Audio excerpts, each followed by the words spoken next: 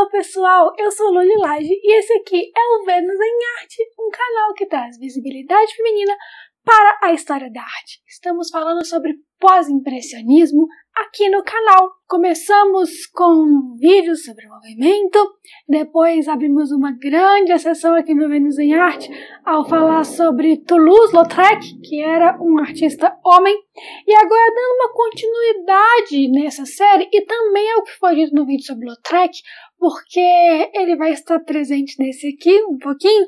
Vamos falar sobre Suzanne Valadon. Nascida Marie Clementine Valadon, dia 23 de setembro de 1865, ela era filha de uma lavadeira que vivia e trabalhava lá em Montmartre. Montmartre era um bairro de Paris onde a vida boêmia era muito, muito forte. Era uma grande situação de artistas de um modo geral, poetas, escritores, até filósofos e também todos eles sempre consumindo muito é, em bares e até cabarés que existiam com força por lá. Montmartre até hoje é muito conhecida por isso. E aí a Suzanne cresceu ali em Montmartre, vivendo com tudo isso, o que foi uma grande influência para ela. Ela largou os estudos aos 11 anos para poder trabalhar e trabalhou em vários lugares diferentes, é, fazendo coroas de flores e como garçonete, etc.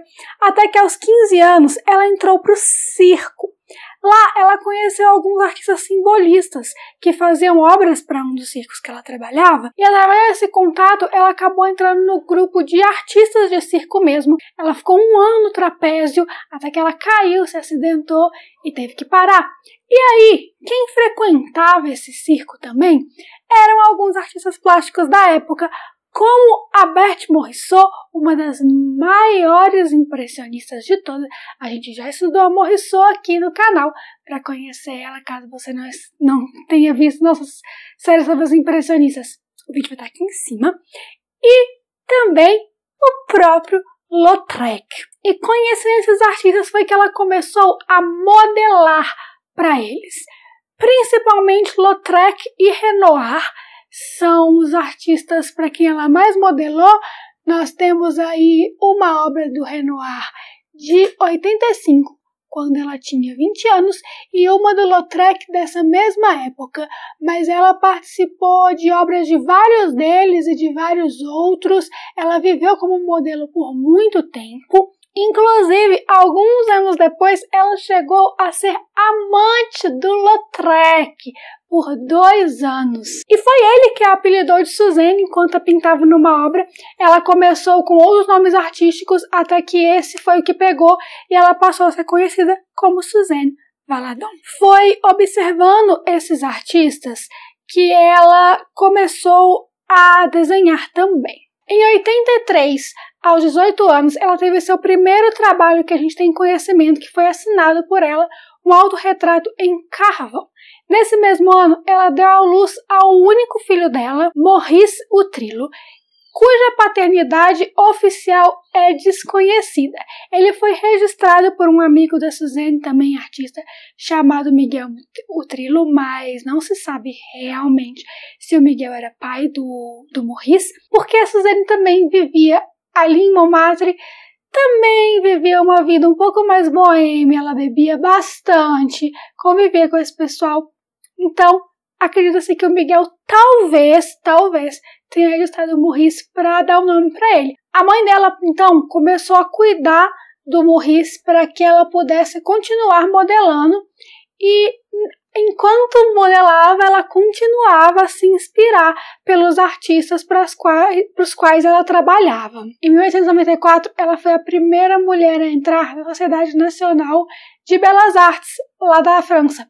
Então, antes mesmo de trabalhar como artista tempo integral, ela já tinha um destaque relativamente grande por lá. E por ter grande influência das obras de homens, ela via muito a exploração do corpo feminino na arte. Não uma exploração física, mas uma exploração visual realmente de como esses homens sempre retratavam as mulheres e muitas vezes é, a nudez feminina. E isso foi um assunto muito recorrente nas obras da Suzanne, porém com um olhar completamente diferente dos homens, menos sexualizada e mais real.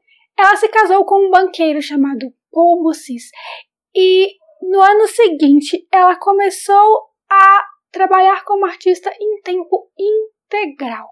Isso foi em 1896 quando ela tinha entre 30 e 31 anos. Uma artista que apoiou muito a Suzanne, comprando seus desenhos, apresentando ela para as pessoas e que foi seu amigo até a própria morte, foi Degas, que inclusive também era amiga da, da Mary Cassatt, né, uma das talvez a maior das impressionistas, que viveu na mesma época, e existia um grande contraponto entre a Berthe Morisot e a Mary Cassatt e a Suzanne. Elas estavam atuando na mesma época, no mesmo país, vivendo ali com as outras pessoas, né? Porque o Renoir era impressionista, o Degas um pouco assim, mas elas tinham, apesar da temática do corpo feminino ser muito frequente nas obras das três, as outras duas pintavam as mulheres como a sociedade as via.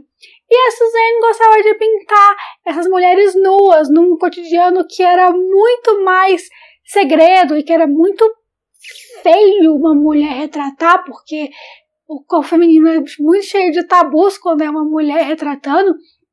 Então, ela foi uma artista muito controversa por causa disso.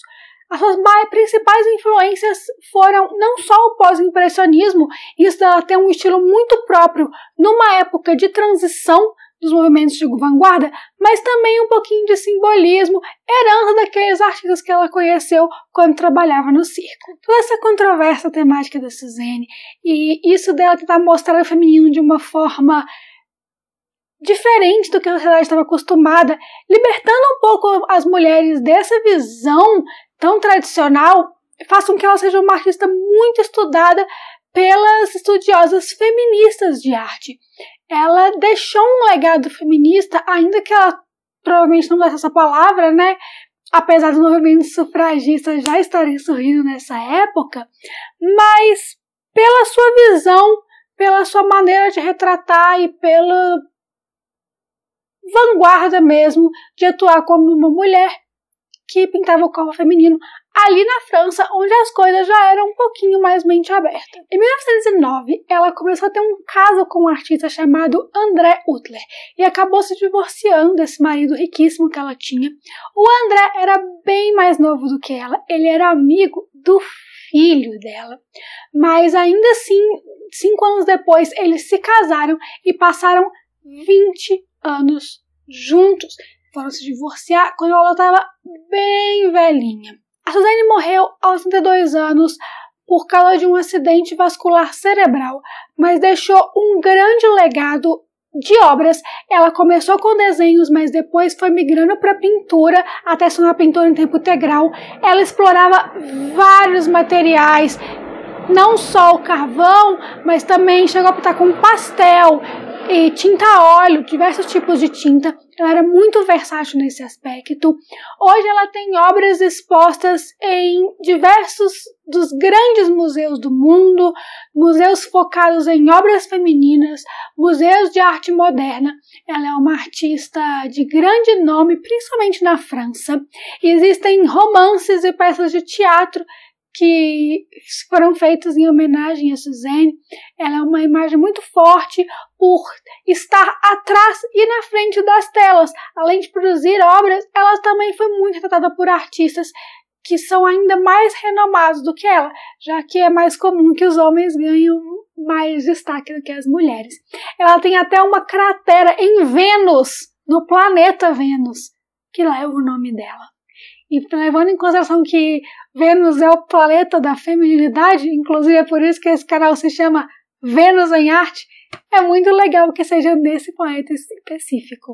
Agora a gente vai ver algumas obras da Suzanne e a gente vai ver o quanto que o estilo dela era particular e o que isso é uma característica do pós-impressionismo, que é não existir muita regra é, metodológica e visual é realmente um período de transição na história da arte, onde é mais caracterizada pelo período que aconteceu, essa virada do século XIX para o XX, do que com esse tipo de coisa, que é o visual, as características e tudo mais.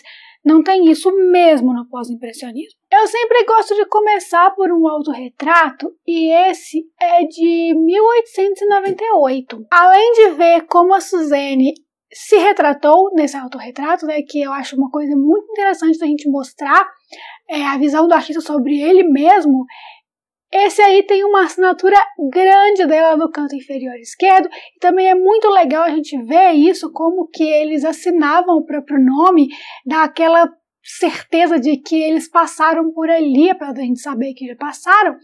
E já passando para O Banho, de 1908.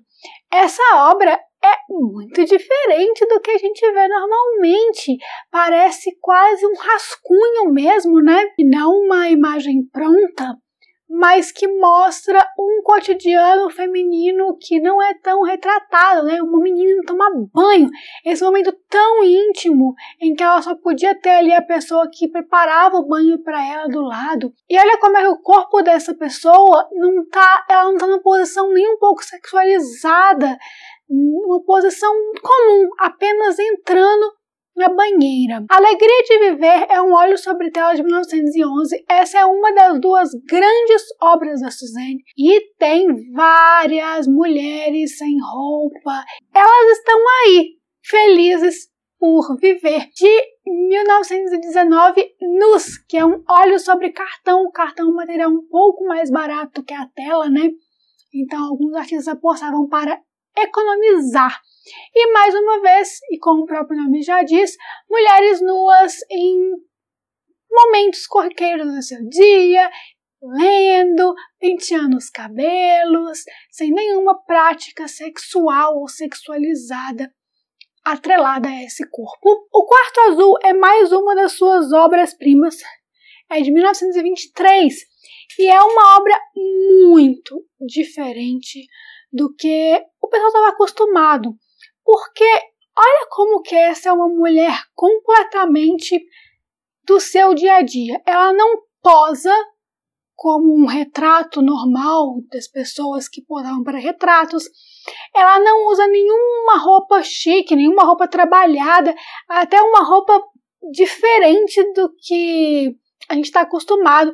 As mulheres estavam começando a usar calça, não era tão comum. É o tipo de roupa que hoje, 100 anos depois, uma mulher pode usar no seu próprio quarto para ler o seu livro, como retratado na imagem. Essa moça está fumando, é uma moça no seu dia a dia total aí na década de 20. Eu espero que vocês tenham gostado de conhecer um pouquinho mais sobre a Suzane Valadon.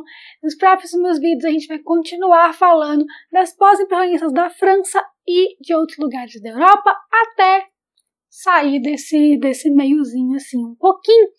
E vamos conversar sobre isso. Me contem o que vocês acharam sobre as obras dela, sobre a história dela, sobre toda essa controvérsia da arte dela, que é muito legal aqui nos comentários e nas redes sociais, que são todas no Lilage. A gente se vê lá. Até o próximo vídeo. Bye bye!